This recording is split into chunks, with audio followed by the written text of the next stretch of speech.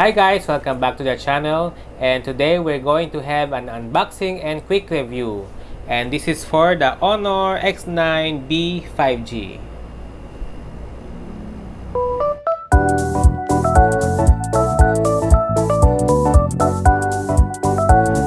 Yan. First time ko mag-unbox ng Honor. So, I'm excited and I'm so honored to unbox this phone. So, ito pala yung box niya, oh, makapal. Unbox na natin. Cute ng box, ang bigat pa. Ito. Dito na lang sa may space.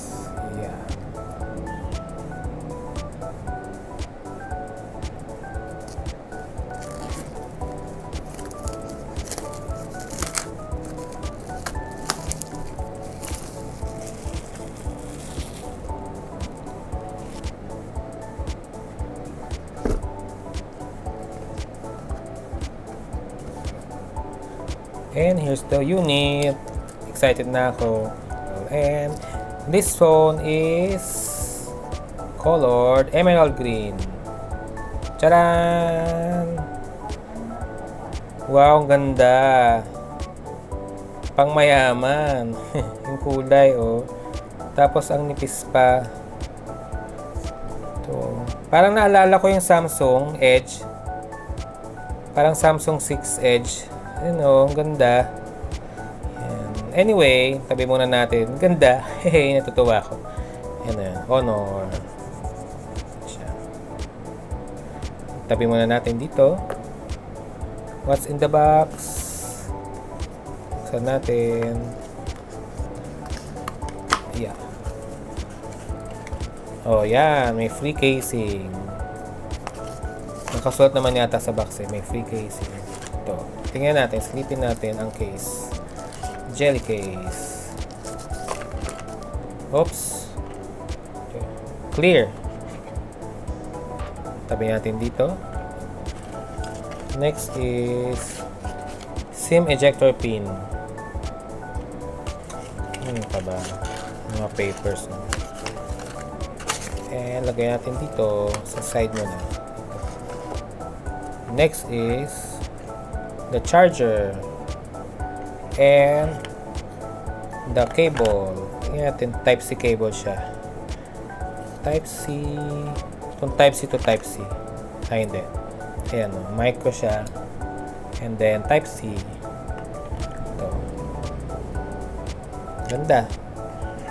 Tingnan natin kung may naman pa wala na. Ayan. Tingnan natin kung merong naka ano, pre-install na screen protector yung phone. Tingnan natin. Oh wow, may screen protector siya oh.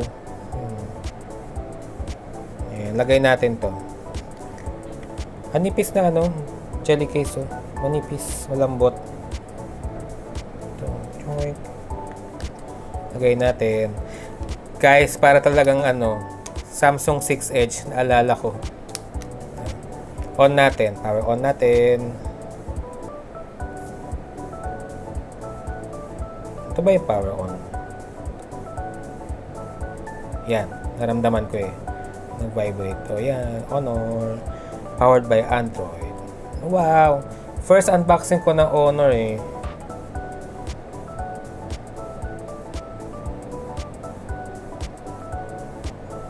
Loading.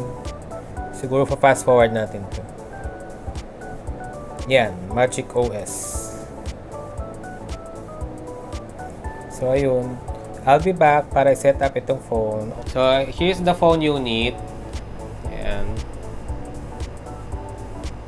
So syempre, nag-research muna ako bago ako mag-unbox and do a quick review. So sa website nila, sabi dun ay Charm at first sight, love at first touch. Na-love nga ako sa first sight dahil dito sa ring. Ganda dito, yung sa camera. Eh, makikita mo siya. Ito. Tanggalin ko muna itong sticker. Iya. Lagay ko muna dito.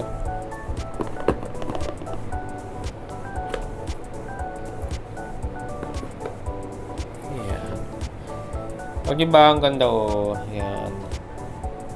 Na-unbox ko na siya and this phone reminds me of Samsung S8 Curve. Ay, Samsung Curve dati. Yung S7, S6. Yan, naalala ko, na-miss ko yung phone na yun. Ganda yung pagka-curve niya. Yan. So, X9B 5G. Ito. Honor. Anyway, ito yung phone.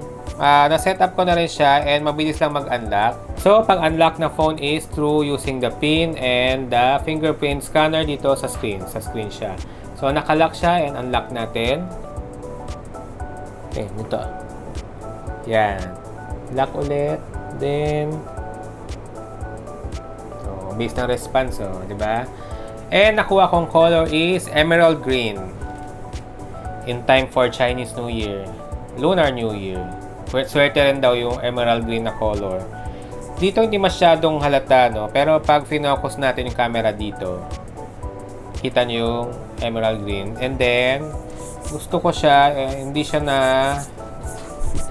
smudge free siya. Hindi siya dumidikit yung fingerprint natin. So, I like it.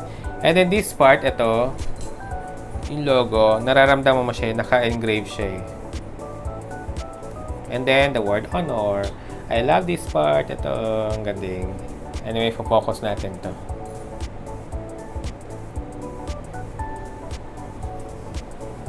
So, ano ang reason bakit ko to binili? Kasi sabi, this is Ultra Bounce Anti-Drop Display 360 Anti-Drop Protection.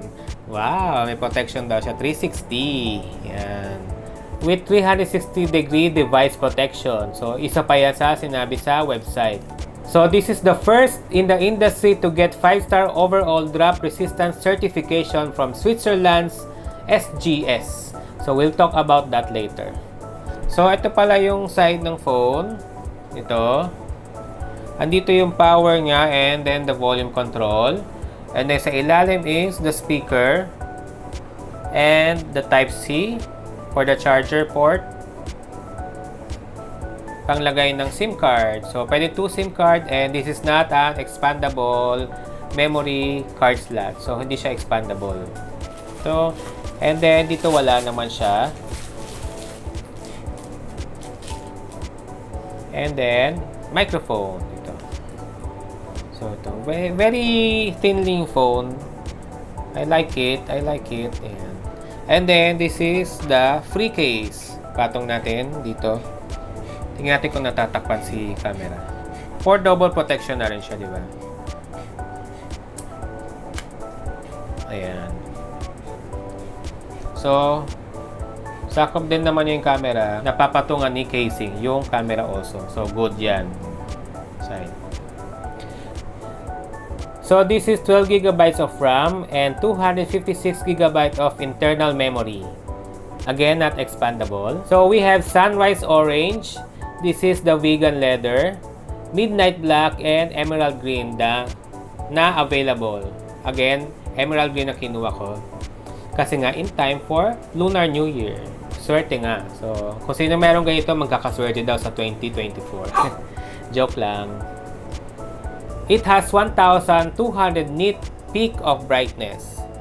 Maganda to sa pag nasa outdoor tayo. Kita mo, dito pa lang, oh, masyadong bright na.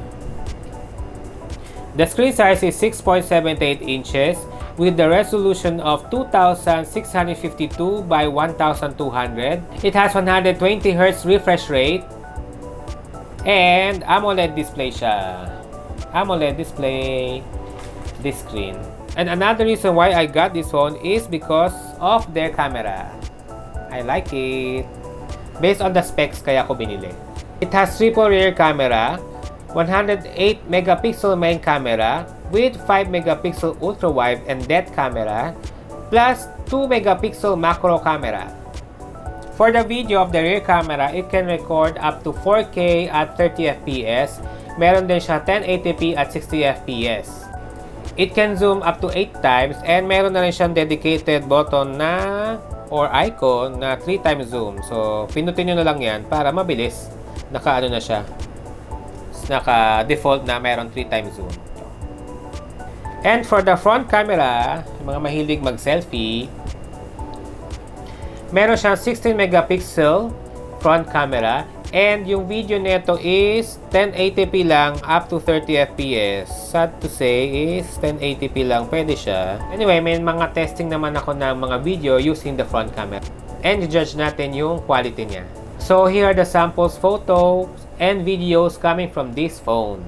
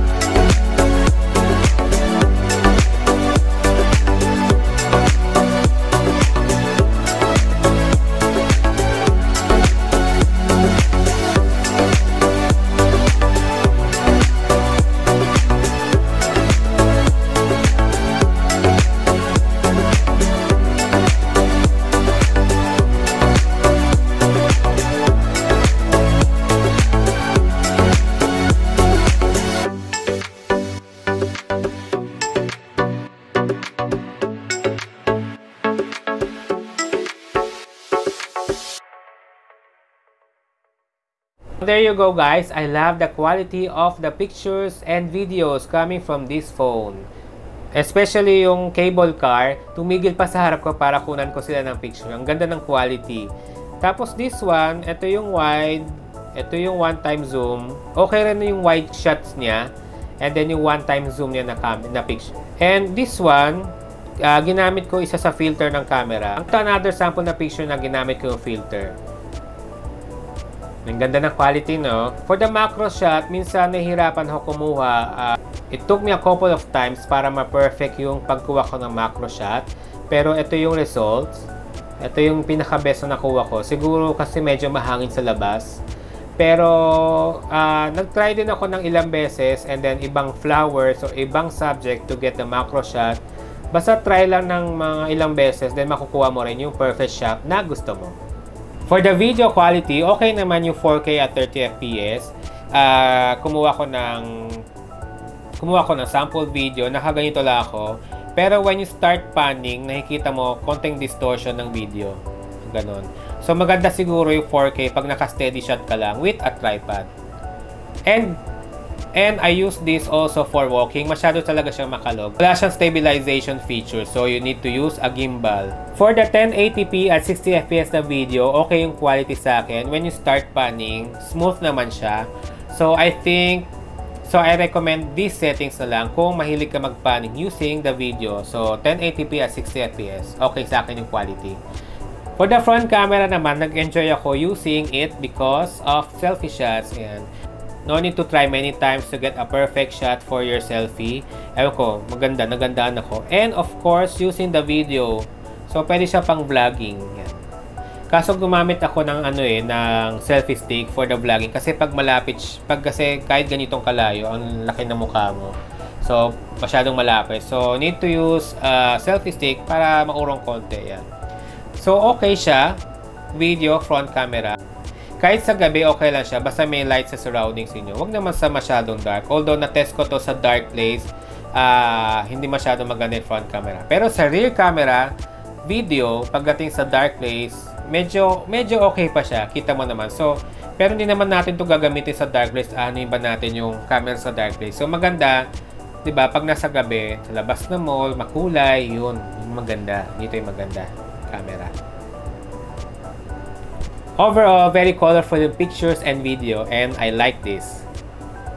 Basta guys, always remember, pag post niyo ng pictures and videos sa Facebook or Instagram, nire-reduce nila yung quality ha. So, don't expect na maganda rin yung quality na lalabas doon sa Facebook and Instagram or other social networking na nagre-reduce ng quality ng videos and photograph.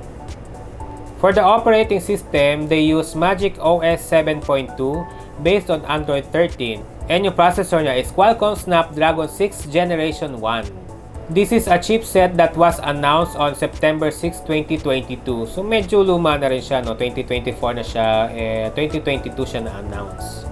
So don't you worry guys, kahit medyo outdated niya siya 2 years ago, maganda yung performance siya sa games and sa pag-multitasking nitong phone. So guys, when playing Mobile Legends, wala akong problem na encountered, walang lagging, walang slow motion, especially pag nagka-clash na. Kasi 'di ba, yung ibang phone pag nagka-clash na masyadong busy, hindi kaya nag-slow motion, ito wala. Wala. Perfect siya. And guys, naka-ultra na yung graphics ha and super high na yung frame rate. So, saan pa, di ba? Walang problem dito. In other words, smooth siya for gaming. So guys, from my experience again, kahit medyo luma na yung chipset, okay na okay sa akin performance. Pati guys, ang daming apps na naka-on while playing the games. Naka-open yung Facebook ko, and naka-standby yung YouTube. So ito, naka, mga naka-open na apps. Kung nakikita ninyo, yan. Ang galing. And speaking of overheating, wala naman, hindi siya umiinit. Kasi siguro naka-wifi ako, hindi ako gumamit ng mobile data. Hindi naman. Safe naman siya na hindi siya mag-overheat. And for the battery, I like the battery of this phone which has 5,800 mAh battery capacity with 35 watts wide charging and this is a super durable battery. This is as good as new after 3 years of use. Wow! Yung iPhone ko nga eh, para mag 1 year pa lang, parang na ano na, naluluma na yung battery, bumaba na, naging 92% na. So, sana good as 3 years siya, no? So, galing. And sabi rin kasi, 3 days nga yung battery life nito. And guess what? Naka 3 days dito sa akin. Super long life talaga yung battery niya, guys. Umabot sa akin mga 3 days. Almost 3 days. With kasama na to ng ano ah, na Facebooking and using the Mobile Legends game. Also, when I tested this phone, the camera niya, video, video syempre, and pag-take ng photo. Tapos, iniwan ko lang yung phone. Syempre, uh, next day, ginamit ko na naman siya for the camera testing and playing games also. Ang ganda niya guys. Super long lasting talaga yung battery niya. Anyway, no need to bring an external power bank. Ito na yun eh. Parang ito na yun, no? ba? So no need. So no need to worry to bring an external power bank again because of this battery capacity, 5,800 mAh. Ayun guys, hindi ko na siya i-drop test kasi medyo delicts eh. Baka mamaya magasgas siya or ma-damage. Hindi naman kasi to review unit eh. And hindi pa ako sponsored. And then also, hindi pa masyado, wala akong budget no pag nasira to. Anyway, speaking of damage, Anyway, durability ang minamarket ni Honor. Na-drop mo yung phone by accident. Gagana pa rin naman yung phone, di ba? Kahit na-drop mo by accident. Pero physically, may chance siya na mag-crack or magasgasan or magkaroon ng hairline yung unit mo. In other words, again guys, drop-proof siya pero hindi siya basag or scratch-proof. So kahit ma-drop mo siya, okay naman safe yung phone, Okay naman, pero sigurado yan may gasgas. Pag nabasag mo siya, mas lalo sa mga bato. And may scratch yan. Dito sa screen. Ah, meron nga nag-post sa ano eh, sa FB group ng Honor. Sabi, nabasag daw yung screen niya, pero hindi na daw sakop ng warranty. So guys, no warranty. Sabi nung isang user. So guys, naalala ko tuloy yung bumili ako ng isang unit sa Globe, yung Samsung S8 Plus ba yun? Basta gate, parang ganito nga yun eh Di, ayun, ina-approach ako ng isang uh, madam kung gusto ko ra mag-avail ng gadget care ng Globe. So, tinanong ko kung ano uh, coverage ng gadget care ng Globe. Sabi nila is, one of them is theft benefit. pag ninakaw yung phone mo. And the other one, yung pinaka-important is yung accidental damage benefit. Kasi that time, ibibigay ko yung phone ko sa pamangkin ko. So, sabi ko, sige, yun lang. Sabi nila, oo. Sabi ko, pag nabasag yung screen, sabi nila, oo daw. So, kinuha ko. So, binasa ko. After a few days yata or 24 hours, nag-send sila ng email. Yun lang nakasulat, coverage theft tsaka, tsaka accidental damage, yun lang, naghanap ako ng mga lilit na letters, kung meron bang nakatago do, mga nakahidden na pag nabasag yung screen, yung mga ganun. Wala naman, kasi tinanong ko nga kay, ano eh, kung kay madam doon na nag-offer sa akin ng gadget care, sabi ko pag nabasag yung screen, covered daw. Sabi, oo, ganun. Eh, nabasag nga yung screen ng pamangkin ko kasi bata pa siya. Particularly dito, sa ganitong part. Noong Samsung ah, sa Samsung. Samsung phone. So, nag-claim na ako Biglang di daw pwede. Babasahin ko ah. Yung damage daw shall mean any unforeseen and accidental physical damage to or destruction of the equipment that prevents its correct operation. In view that, Gadget Care excludes cover for cosmetic damage that does not prevent correct operation of the equipment. So it means, kahit nabasag pala to, pag okay naman yung performance ng phone, hindi daw covered ng warranty nila. Ang daya nila, doon pala nila saka, sinend sa akin yung PDF ng full na coverage and then yung mga exemption. So, parang nadaya ako kasi nung pagbigay sa akin ng unang copy ng PDF, personal copy, walang ganito. Tapos nagka-claim na ako, biglang sinabi sa akin nila to. So, parang nadaya, nadayaan ako. Parang daya nga kasi, di ba? Magbebenta ng ng parang insurance gadget care. Sabi, okay, pag nabasag. So, binasa ko rin. Wala palang mga exemptions. Tapos nung nag-claim ako, meron pala. Doon ako pinasahan ng BDF. So, eh, parang madaya, di ba guys? So, um, nalungkot ako, pero mukha ba ako nagarant? Medyo, nagarant ako and then complain. So, lesson learned guys, pag nabasag yung screen, mostly hindi nila covered. Basta pag okay yung performance ng phone, hindi nadama yung performance ng, ng phone. Again, lesson learned. If ever kukuha kayo ng insurance para sa phone, basahin mabuti, tanong niyo mabuti.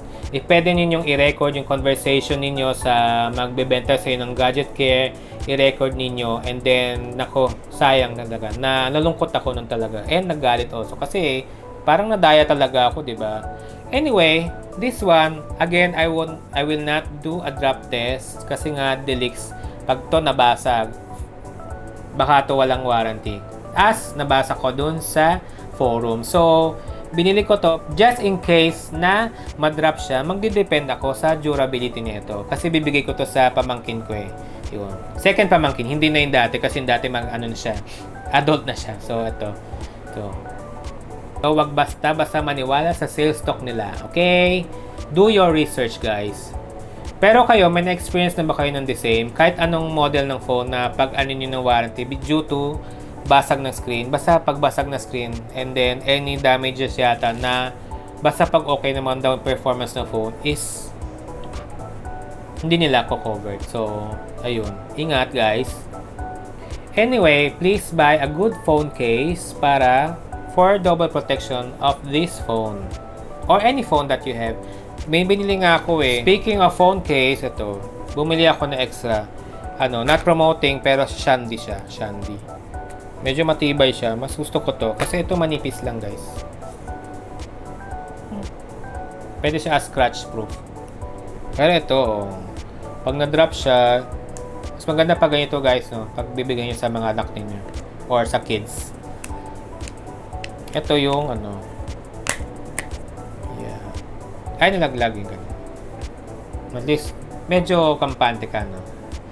Na may ganitong case. Ay, hindi ko na tatanggalin guys. Ito na lang. Guys, I like this phone because of the picture and video quality. Sabi ko nga sa inyo guys, very colorful nito. I enjoyed using this phone for pictures and video. Also for the performance, the screen size, and for the gaming. Screen size, good for watching YouTubes and any movies and videos dito sa phone. And only downside guys, sana meron siyang ano no, memory slot para sa SD card no, para expandable siya. Kasi ang ganda ng camera niya and I wish to store more videos and pictures on this phone. using the SD card. So, yun. Anyway, again, bibigay ko nga to sa pamangkin ko as regalo. Overall, this is a good phone guys. I enjoyed using it kasi para siyang Samsung, yung mga menu niya, ito sa settings, para siya si Samsung. So, a bit familiar na sa akin. No need to study and navigate pa para hanapin ko yung mga menu na gusto ko or the settings. So, may pagka Samsung siya eh. So, so first time guys ha, nag-unbox ako ng Honor and I enjoyed using it.